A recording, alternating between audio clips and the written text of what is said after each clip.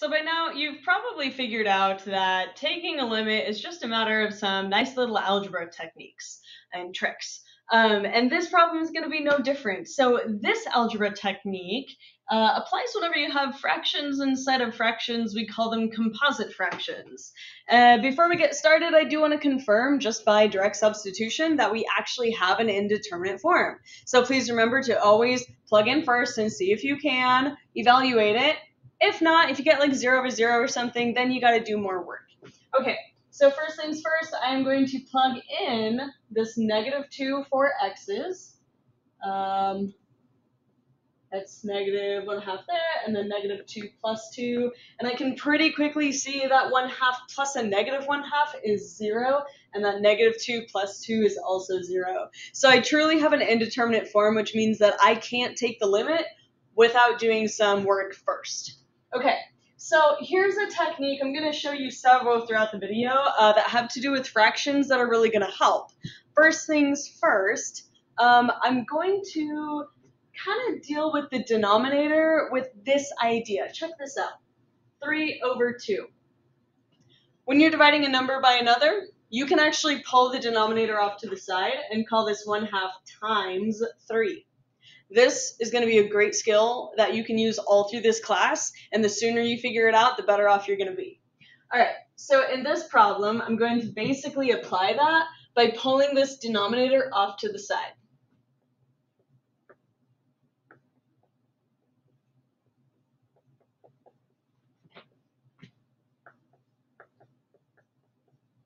Okay, so the denominator's been taken care of, pulled off to the side like this. And what I'm left with are a couple of fractions being added right here. Now, we know that adding fractions is a matter of common denominators, so let's do it. 2 and x, yeah, the common denominator is going to be 2x. So this one gets multiplied by x over x, and this one by 2 over 2. I have not taken the limit yet, so I'm going to continue writing um, this notation until I actually evaluate the limit. For now, I'm just massaging and manipulating with algebra, not actually doing anything. So this is my 1 over x plus 2, and then that becomes x over 2x plus 2 over 2x. And if you pause or think about it for a second, I hope you're feeling pretty happy about this next algebra step. Maybe seeing things that are going to cancel. Look into your future. It is bright.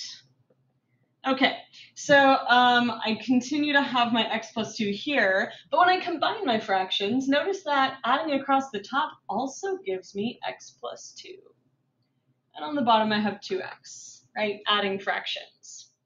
Okay, so some of you might be seeing already that since these factors match on top and bottom, they're going to cancel. If you're not super comfy with that yet, I'm going to go ahead and do another step to hopefully like make that feel okay for you.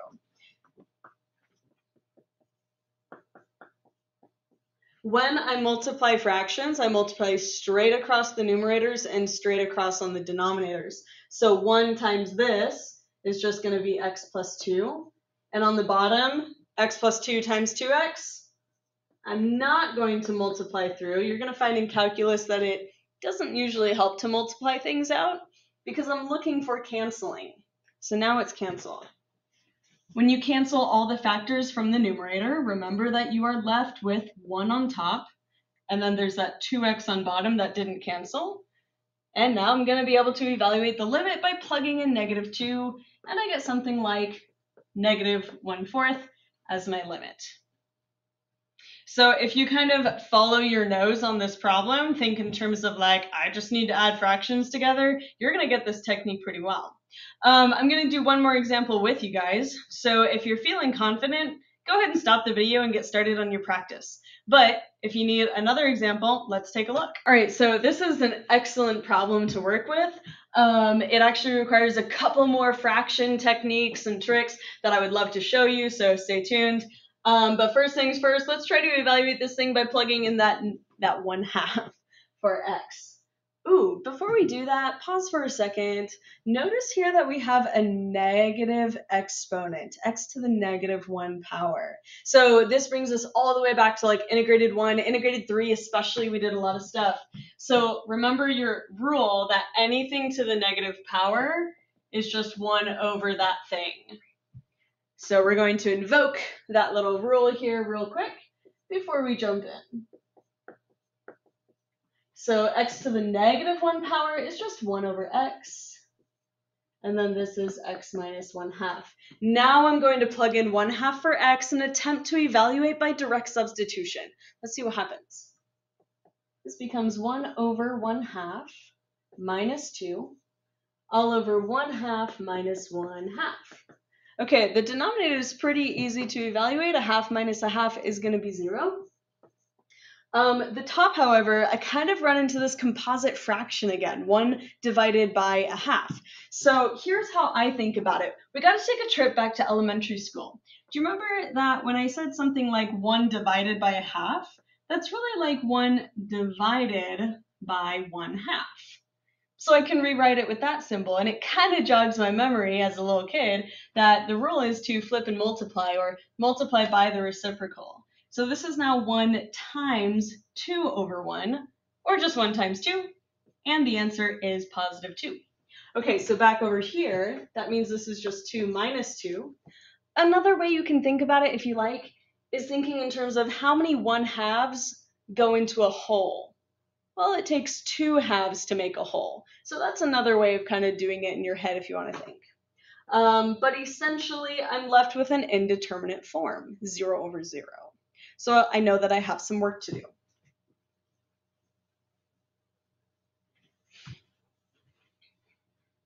Okay, so first things first, I'm going to use that trick again of pulling the denominator off to the side. But before I do that, I want to maybe add some of my fractions and you can kind of choose the steps that you want to do here, the order. But I think I'm going to go ahead and simplify the fractions on top by adding and then also the ones on bottom by adding. So on the top, I've got a 1 over x minus 2 over 1. And in the denominator, I've got x over 1 minus 1 over 2. So to get common denominators between these two, I would just need to multiply this by an x over x. And for these two, I just need to multiply this one by a 2 over 2. I have not taken the limit yet, so I continue to write the limit as x approaches 1 half. And now I can start to simplify. So this becomes 1 over x minus 2x over x all over 2x over 2 minus 1 over 2. All right, let's keep going. The numerator simplifies to 1 minus 2x all over x. The denominator simplifies to 2x minus 1 all over 2. And now I'm going to start using that idea of flip and multiply. So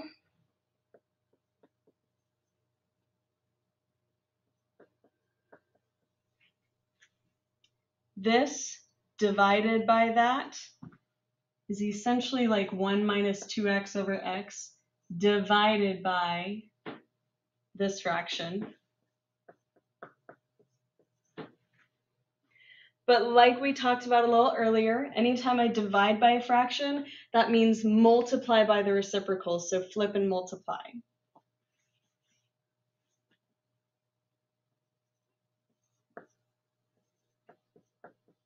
And now that we've reached this point, it's really tempting to look at this and see 1 minus 2x would cancel with 2x minus 1, but be really mindful that like the terms are not in the same order, right? This is 1 minus the 2x, and this is the 2x minus the 1. So we can actually handle that by factoring out a negative 1, right? So if I want this 2 to be negative and I want that one to be positive, then I can just factor out a negative. And it would look like this. It's negative 1 times 1 minus 2x. And confirm for yourself that if you multiply this back through, the negative would make that a negative 1 just like it was before. And it would make this one a positive 2x just like it was before. And I can rearrange the terms to kind of make them match this one up here. All right, so now we're like taking a deep sigh of relief, and this 1 minus 2x cancels with that 1 minus 2x. So I'm left with, still haven't taken the limit. But I got something like 2 over a negative x, and when I plug in this 1 half, it's 2 over negative 1 half. And I'm going to do kind of that trick again in my head of either flipping and multiplying, or I can think how many halves go into two wholes. Either way, the answer is 4, and that's going to be negative.